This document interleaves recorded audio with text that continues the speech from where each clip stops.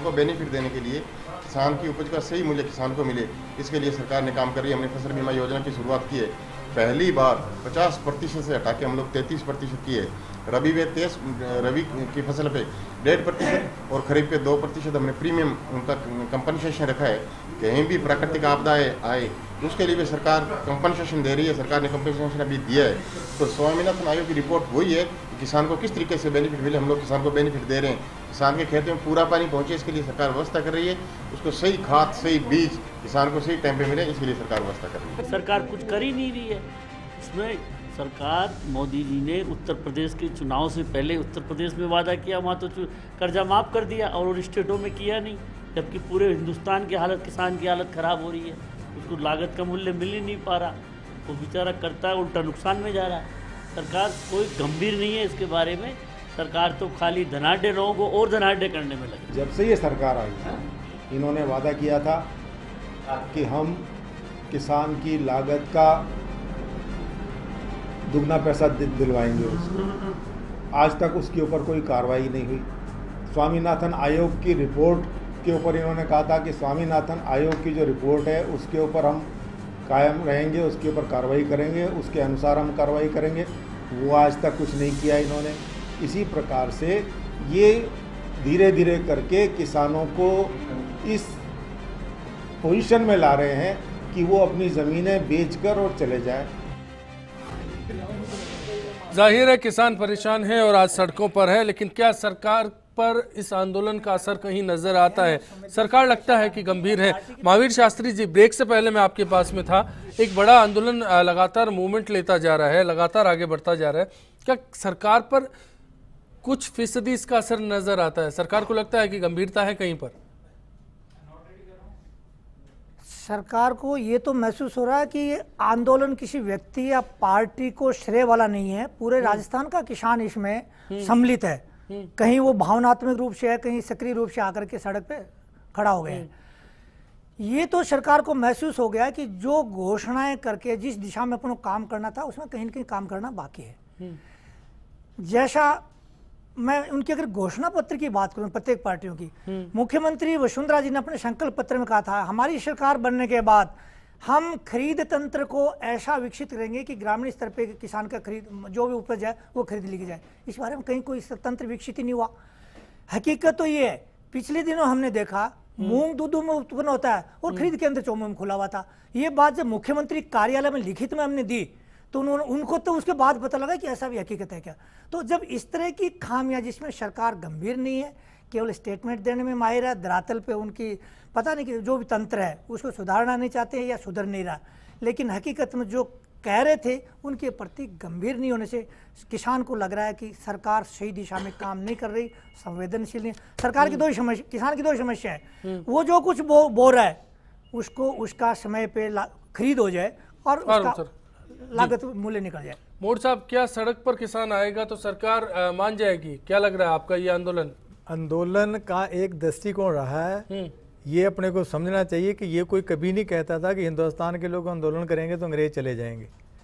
सरकार को जब किसान उठ खड़ा होगा और पूरे राजस्थान में जैसे सब भाई साहब कह रहे हैं पूरे राजस्थान के अंदर किसान इतनी बड़ी गिनती में उठ रहा है कि सरकार के पास दूसरा कोई चारा ही नहीं है कि स्वयं मारने के कोई ये कोई छोटी मोटी बात नहीं है पूरे हिंदुस्तान के किसान का दबाव है और राजस्थान में मैंने पहले भी आपसे कहा इतनी बड़ी संख्या में किसान की हिस्सेदारी है कि इससे पहले कोई भी आंदोलन किसान का राजस्थान में इतनी बड़ी संख्या में सड़कों पर बड़बड़वाल साहब क्या इस बार जो आंदोलन है वो वापसी की राह पर नहीं है फैसला लेकर ही हटेगा। देखो इस आंदोलन का सबसे बड़ा पहलू तो यह है कि जो भी आंदोलन अब किसान जो कर रहा है बिल्कुल शांतिपूर्ण तरीके से कर रहा है। आज तक मेरे किसान को उकसाया करते थे और उसके उलूल जुलूल केस लगा कर उसको दबा दिया जाता था।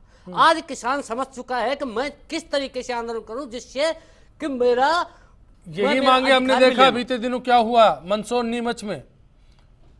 आप खुद वहाँ जाकर आए और इस सरकार को जवाब भी दे दूँ। तो जिस तरीके से हम आंदोलन कर रहे बड़बड़वाल साहब यही आंदोलन था यही मांगे थी और राज्य बदला हुआ था। सूरत हाल हम अं- अंजाम हमने देखे हैं उसके। इसलिए जानना चाह रहा हूँ। मैं यही अपील करना चाहता हूँ किसानों से कि वो मंदसौर वाली घटना अपन को नहीं दिखानी। अपन को शांतिपूर्ण तरीके से सरकार को झुका के अपनी मांगे अपने अधिकार अपने घर तक लाने ये मेरा और- अब, और- अब मजबूर अगर सरकार मजबूर करती है तो भी अपन को मजबूर नहीं होना है। मैं अपन किसी को मारेंगे मैं किसी से मरेंगे पर अपने अधिकार लेके रहेंगे। इस साहब बात पूरी करें मैं डागर साहब का रुख करना चाहूँगा। जी। मंदसौर की जो बात थी मंदसौर में और राजस्थान में एक बहुत बड़ा अंतर है कि मंदसौर में आंदोलन स्वस्फूर्ता जिसका नेतृत्व किसी के हाथ में नहीं था। यहाँ एक नेतृत्व है और नेतृत्व के तहत आंदोलन चल रहा है। और योजनाबद्ध तरीके से चल रहा है और वो लगातार आगे बढ़ रहा है ये है यहाँ भी, जो बात ज़िक्र की जा रही है। आंदोलन क्या पहुँच गया किसान के साथ नाइंसाफी हुई तो कांग्रेस बराबर के साथ देगी? बिल्कुल बिल्कुल अश्विनी जी कांग्रेस इस आंदोलन में किसानों के साथ पूरी ज़िम्मेदारी के साथ में खड़ी है और लोकतांत्रिक तरीके से हम सरकार को ये बात बता रहे हैं कि किसानों का जैसे दूसरे प्रदेशों में कर्जा माफ़ किया है उस प्रकार के राजस्थान के किसानों का भी कर्जा माफ़ किया जाए। इसके अलावा जो किसानों को जो स्कीम मना कर चुके हैं मंत्री मना कर चुके हैं कि मेरी राय मुझे आज इस अफसोस के साथ कहना पड़ रहा है कि एक जिम्मेदार पद पर बैठा हुआ व्यक्ति अगर वो इस तरीके से पल्ला झाड़ रहे हैं तो वो ये बहुत गलत बात है। और मैं तो इस बात को किसानों के लिए भी कहूँगा कि जो एक बहुत बड़ा धोखा इसको कह सकते हैं छलावा कह सकते हैं कि जिस पार्टी ने जिस ज़िम्मेदारी के साथ में अपने मैनिफेस्टो में उसकी घोषणा करके और आज वो लोग ये कर रहे हैं तो ये बहुत गलत बात है। इसी प्रकार जी जब यूपी में माफ़ हो सकता है महाराष्ट्र में माफ़ हो सकता है तो फिर स्थायी समाधान राजस्थान सरकार को कर्ज माफ़ी में क्यों नहीं लगता? देखिए पारिक साहब ये जो प्रयोग है कर्ज माफ़ी वाला कांग्रेस ने 2008 में सबका कर्ज माफ़ कर दिया था पूरे किसानों का। फिर दोबारा से कर्ज क्यों हुआ? इस बात का कांग्रेस के पास जवाब नहीं मेरे साथी को ये पता आज आज आज है। आज आज आज फिर आप मुझे बोलने दीजिए आप बोलते हो, हूँ हूँ ठीक है। जी बात पूरी कीजिए फिर आज वो किसान फिर कर्जदार हुआ। आज फिर कर्ज माफ़ कर देंगे। तो यूपी और महाराष्ट्र में क्यों कर्ज माफ़ किया गया? कर्जदार होगा। लेकिन ये है। ये जो विषय है ये कर्ज माफ़ी से संबंधित मुझे इतना समझा दीजिए कर्ज क्यों माफ़ी में माफ़ करना पड़ा क्यों महाराष्ट्र में माफ़ करना पड़ा? बिल डबल आने लगे कभी हो किसान स्वावलंबी बन सकता। सवाल इस बात पे है कि इसमें रचनात्मक मुद्दे पर अपने बैठ करके वार्ता इस विषय पर करनी चाहिए कि किसान को स्वावलंबी कैसे बनाया जाए किसान को अपने खेत में उसका रास्ता बताया स्वामीनाथन आयोग ने लेकिन आप उसको अमल में नहीं ला नहीं, सकते। किसान को अपने हलफनामा खेत में आपने सुप्रीम कोर्ट में दिया है जाए, इस विषय के ऊपर चर्चा करनी सुप्रीम कोर्ट में भाजपा सरकार ने ही हलफनामा को दिया लेकर किसी और ने नहीं। 20 आप साल से करोड़ों रुपए का ग्राम जैसा प्रोग्राम करके पैसा खर्च कर रहे हो। शास्त्री जी आपके तो पास आऊँगा आउटपुट ज़ीरो है आपका एक है कितने इन्वेस्टर में? ये कहना चाहता हूँ मेरे भाई ने अभी ये कहा कि कांग्रेस ने 2008 में माफ़ किया अरे वो प्रधानमंत्री ने किया। आज ये प्रदेश में बांट बांट के क्यों कर रहे हैं? अगर इनके प्रधानमंत्री को जो कुछ करना है या तो किसी प्रदेश को मत दो। और देना है तो पूरे हिंदुस्तान के किसानों को देने के लिए शहर तैयार रहो। अब यहाँ जहाँ इनकी पटरी नहीं बैठती उन सरकारों को ये कुछ देंगे नहीं। जहाँ इनकी पटरी बैठती है उन सरकारों को ये पूरा सहयोग देंगे। जैसे महाराष्ट्र में उत्तर प्रदेश में। फडनवीस से पटरी बैठ रही है। अब दो स्टेट ऐसे दुर्भाग्यपूर्ण हैं राजस्थान और गुजरात वो मध्य प्रदेश। इतिहास गवाह है राजस्थान का किसान पहले खुदकुशी नहीं किया करता था। शास्त्री साहब कुछ तो मजबूरियाँ होंगी? देखिए जैसा पहले ओम जी ने एक बिंदु कहा था कि कर्ज हर बार माफ़ करना ये कोई इलाज नहीं। कुछ हद तक प्रभुलाल जी ने भी कहा है। हाँ पुरलाल जी ने कहा। ये सैद्धांतिक रूप से ठीक हो सकता है। दो तरह के इलाज होते हैं। एक तात्कालिक राहत एक दूरगामी इलाज। दूरगामी इलाज के लिए इसमें रामपाल जी जाट ने एक बहुत अच्छा सुझाव दिया था कि जिस तरह से कर्मचारियों के वेतन आयोग बनते हैं और उसका सिफारिश और लागू करने के बीच का जो अंतर होता है उसकी अंतर राशि उनके खातों में जमा कर दी जाती है। पंद्रह अगस्त 2007 से किसान आयोग की रिपोर्ट लागू करनी थी आयोग की सिफारिश के हिसाब से। तब से लेकर के अब सत्रह में दस साल के अंतर की राशि जो अंतर्राष्ट्रीय किसान को नुकसान भुगतना पड़ा न्यूनतम समर्थन मूल्य से कम बेचने पे वो अंतर्राष्ट्रीय अगर किसान के खाते में जमा हो जाती है तो किसान तो सरकार में मांगेगा इसको ऋण माफ़ करने का ज़रूरत है अपना मुक्त हो जाएगा। तो कुछ इस तरह के रास्ते एक ये दूसरा डॉक्टर एम एस स्वामीनाथन की रिपोर्ट लागू कर दी जाती है तो किसान ऋण लेगा ही नहीं तो इन पर ऋण चढ़ेगा नहीं माफ़ करने का बिंदु कहाँ आएगा? तो सार रूप में ये कहा था कि ऋण मुक्ति के जो है खुशहाली के दो आयाम ऋण मुक्ति और पूरे दाम।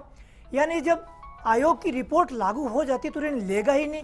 बल्कि जैसा पहले बड़बड़लाल जी ने कहा था वो तो ऋण देने की स्थिति में रहेगा। पड़ोसी रिश्तेदार या कोई दूसरा मांगेगा तो। तो वो स्थिति डॉक्टर एम एस स्वामीनाथन की रिपोर्ट लागू करने से ही हो सकती है।